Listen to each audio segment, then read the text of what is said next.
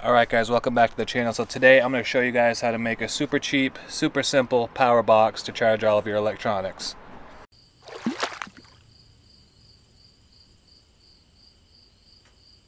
So what I got here is an ammo can, 50 cal ammo can from Harbor Freight.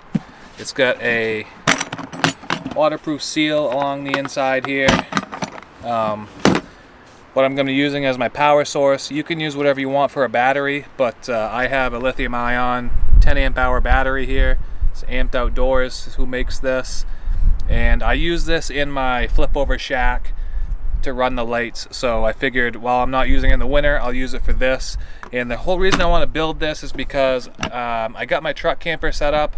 I need um, if I'm going to be going on a day trip or overnight somewhere, I want to be able to charge my cell phone. I want to be able to charge a couple of cameras, some GoPros and stuff, and maybe even occasionally run some lights inside the camper. So I don't need anything too crazy.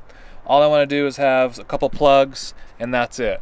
So what I bought to do this with, this is like the cheapest, most simple way.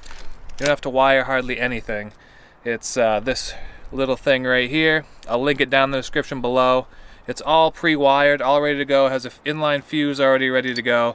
It's got a power switch on off. It's got a 12 volt socket cigarette lighter plug there. And then it's got a uh, voltmeter on the front and you pull this off and it's got two USB chargers. So exactly what I need. You can obviously wire in some other stuff if you want to run lights and stuff in here, but I don't need that. I'm going to keep it super simple and uh, just show you guys how to do it. It's so easy. So step one is just removing this little trim piece from the plugs so you can get your template on where to drill the holes if you want to use this. You don't have to use this at all if you don't want to. Just drill your own holes and put the put the switches wherever you want. But we pulled that off. Now all you have to do is set this on the box where you want it. Something like that. Mark our holes.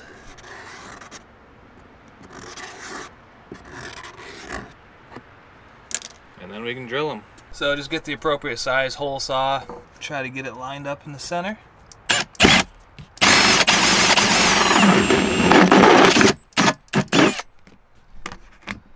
Alright, so we should have a nice mess on the inside because there's tabs hanging down there.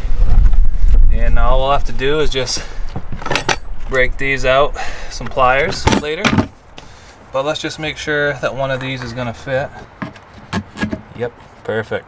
I'm just going to use these type of pliers like this. You can use whatever you want to get those out, but let's go down in here. Pull it right out. Alright. Kind of clean up these edges a little bit, but don't really give two shits. So, there we go. Just gonna try to remember how they all go. And they have these little locking rings on the inside. So you just tighten it, snug it right up to the box with that. Fits like a glove. So we've got that all hooked up to the box. Looks pretty good. Lift that up, you see how it looks underneath there. Now all we have to do is, if you have a battery, all you have to do at this point is just connect it with these terminals and you're done. Uh, my battery has these type of terminals with the little uh, different connectors on there. They actually give you a bag of connectors and screws so you don't have to buy any if you have a battery like this. All we have to do is pull out two of these connectors here, take our wire cutter, snip off those, put one of these on, Pretty quick and easy. Just like that. Also, if you guys don't have these wire cutters, you should get them because they're awesome. I'll link them down in the description below. So, now we just stick our battery in there. Plug in our terminals. Black to black, red to red, people. It's the only thing you have to know. Alright guys, so I brought this inside so I could show you it a little bit better so the, the sunlight wasn't picking it up that good with the camera, but um, so we got it all wired up. It literally took me, I don't know, three minutes maybe to do all that. And uh, this is just a test to see if it works. We turn the switch on, uh, the lights come on, the voltmeter comes on, tells you how much battery life you got left, and it's working. Plug in a USB charger here, get our iPhone out here, plug it in, and it's charging. All I have left to do now is screw in this little frame piece. Probably just gonna want to be careful with these because they probably stick down in there a little ways, but I'm not worried myself. If you want, you can put some silicone along here too to kind of waterproof it.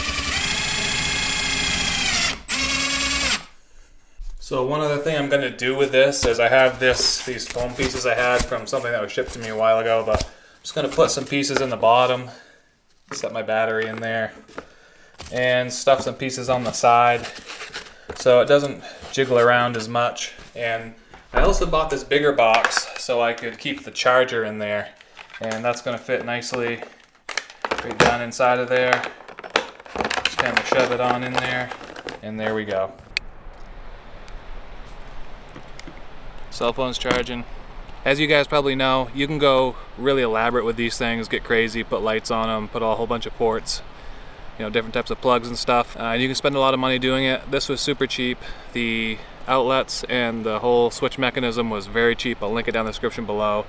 And like you guys saw, it took me a matter of minutes just to put this together. And I got a functional box here that's gonna run some lights and charge some batteries. So thanks for watching guys. If you like this video, give it a thumbs up and we'll catch you guys in the next video.